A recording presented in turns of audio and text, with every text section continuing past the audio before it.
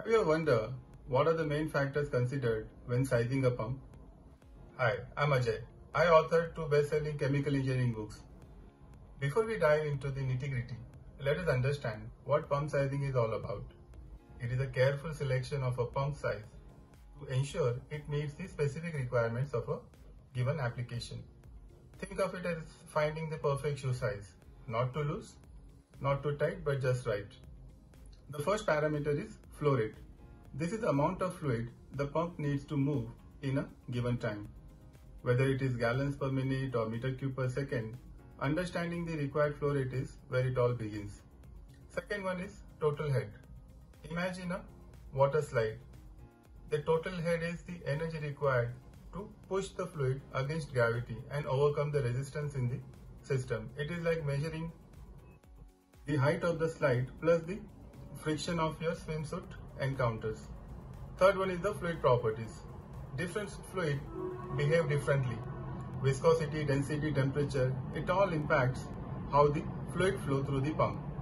Thicker fluids might require a larger pump size to handle the increased resistance.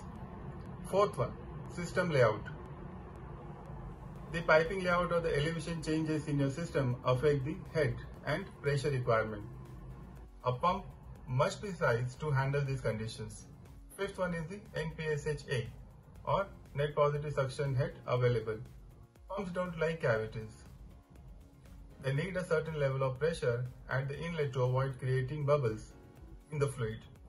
NPSHA takes into account the available pressure at the pump's inlet. Sixth one is the NPSHR or net positive suction head required. Just as pumps need pressure at the inlet, they have a minimum requirement to avoid cavitation. NPSHR is a value provided by pump manufacturers. Seventh one is efficiency. No one likes wasting energy and pumps are no different. Engineers aim to select a pump size that operates efficiently to save energy and reduce operating cost. And there you have it folks. Sizing a pump is like solving the intricate puzzle a puzzle that ensures smooth fluid flow, efficient operation and a longer pump life. I hope this was useful to you.